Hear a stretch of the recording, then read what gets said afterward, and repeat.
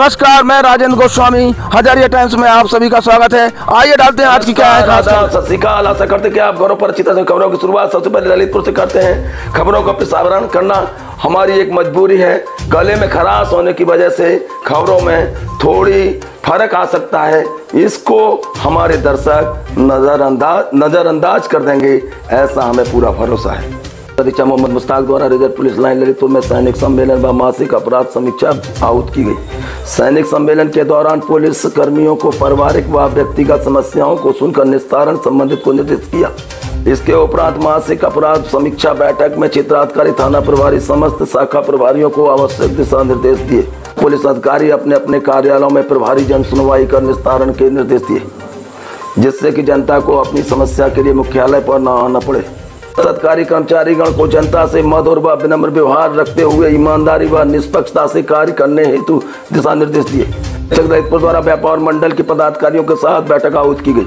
Police अधीक्षक मोहम्मद द्वारा reserve police line सभागार में कक्ष में व्यापार मंडल के पदाधिकारियों के साथ बैठक आहूत की गई, जिसमें व्यापारियों की समस्याओं को सुनकर निस्तारण करने हेतु आश्वासन दिए। में व्यापारियों की सुरक्षा के मद्देनजर अपनी अपनी दुकानों, प्रतिष्ठानों में सीसीटीवी कैमरे लगवाने का सुझाव दिया। अब हम तालबेट की खबरों पर डालते एक नज़र। पुलिस अधीक्षक मोहम्मद मुश्ताक के निर्देश में क्षेत्राधिकारी कुलदीप कुमार के निकटवर्ती परवेक्षण में कोतवाल के नेतृत्व में अपराधों की रोकथाम हेतु तलाश वांछित अपराधियों के खिलाफ अभियान चलाया जा रहा है। इस दौरान पुलिस ने बलात्कारी के मामले में वांछित चल रहे अभियुक्त को पुलिस ने दबोच लिया। कोतवाल विनोद कुमार मिश्र ने बताया कि उप निरीक्षक प्रवीण कुमार पुलिस बल के साथ थाना क्षेत्र में मुखबिर की सूचना पर आईटीआई का कलारी के सामने यात्री प्रतीक्षालय के पास उनको उम्र 20 वर्ष पुत्र प्रभु निवासी ग्राम रामपुरा मधुरा लटुआ थाना तालबैठ को आईटीआई आई के सामने से यात्री प्रतीक्षालय के पास से पुलिस ने दबोच लिया। लोडर ने छात्रा को मारी टक्कर हालत गंभीर। कोतवाली चेतन तगन माता पिता तिराए के पास स्कूल से घर आ रही छात्रा को तेज रफ्तार से आ रही तीन पहिया लोडर ने पीछे से जोरदार टक्कर मार दी, जिससे छात्रा को गंभीर चोट आई। राहगीरों की मदद से सी अस्पताल बैठ लाया गया।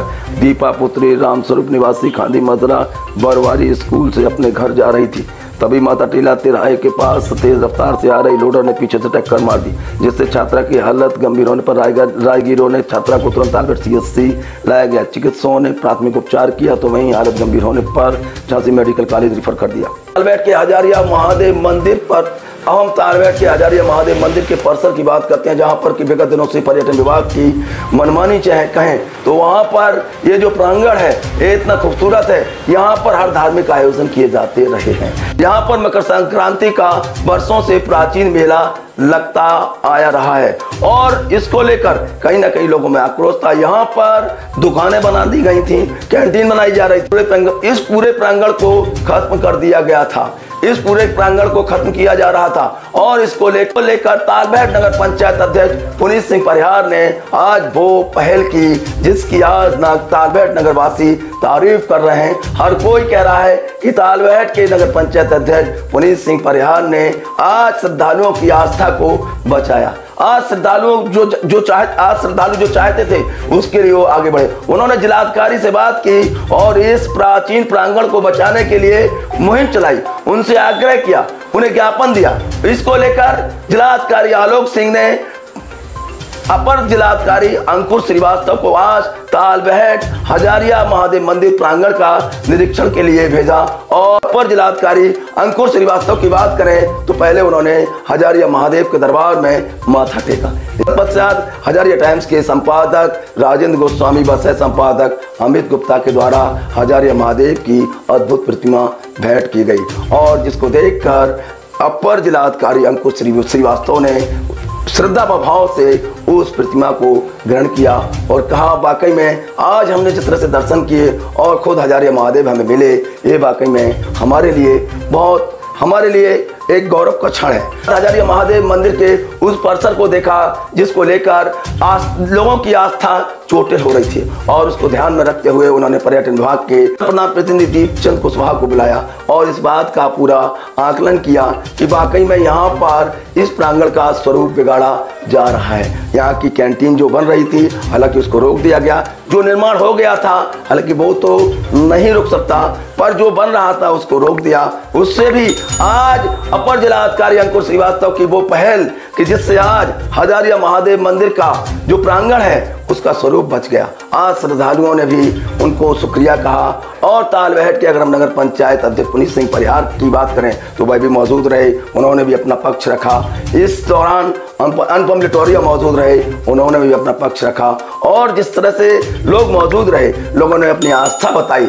आस्था से वह रूबरू हुए अपर जिलाधिकारी और उन्होंने आश्वासन दिया कि लोगों की आस्था का पूरा ध्यान रखा जाएगा। ये जो प्रांगण है वाकई में बहुत खूबसूरत है और ये बहुत ज़रूरत है आज के लिए। यहाँ पर नौ दुर्गा विसर्जन होता है।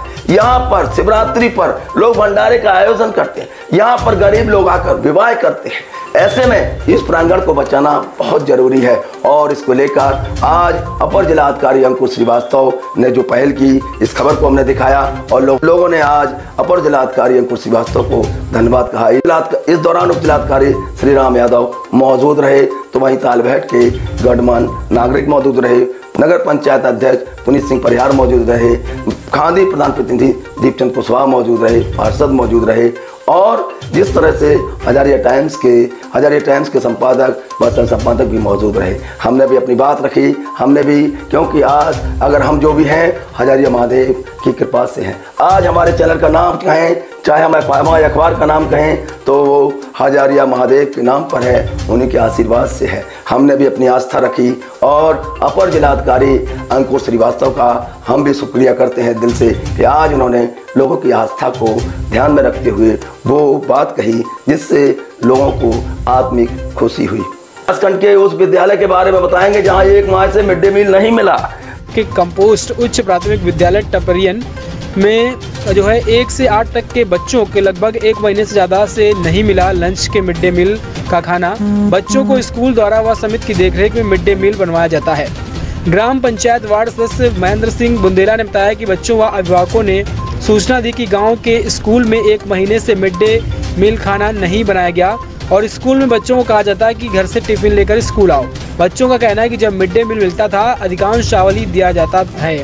बुधवार को दूध नहीं दिया जाता है। आखिर सरकार से स्कूली बच्चों को लेकर, स्कूली बच्चों को दिया जाने वाला उनका हक और उनका निवाला कौन छीन रहा है? स्कूल की प्रधानाध्यापिका से बात की गई तो उन्होंने बताया कि इस बारे में शिक्षा अधिकारियों को सूचना दे दी गई है। कोटेदार कह रहे हैं, राशन नहीं आया। इस बारे में प्रधान का कहना है कि तहसील दिवस तालबेट में आवेदन दिया था। बाकी अधिकारियों से शिकायत की गई है। ग्राम समिति के संचालन में मिड डे मील का काम एक माह का हो गया अधिकारियों को सूचना दी है लेकिन अब तक बच्चों का खाना उपलब्ध नहीं हो सका। कितने में पढ़ते तुम लोग? आठ में पढ़ते? कहाँ से आते? प्यासी से? तो आज स्कूल में खाना मिला? कब से नहीं मिल रहा खाना दो महीने हो गए। खाना नहीं मिला तो जाकर हमारे चैनल को सब्सक्राइब करिएगा फिर मिलते हैं नई खबरों के साथ। आज हमारा स्वास्थ्य ठीक नहीं होने के बावजूद भी हमने आपको अपना ये बुलेटिन स्पेशल बुलेटिन सुनाया आपको कैसा लगा?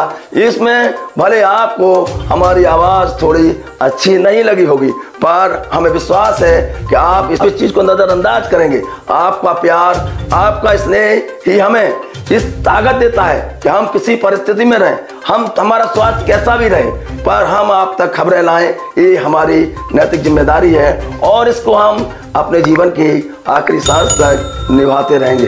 फ़िलहाल यूट्यूब पर जाकर हमारे चैनल को सब्सक्राइब करेगा, फिर मिलते हैं नई खबरों के साथ। अपना बेहतरी से ख्याल रखेगा जय हिंद।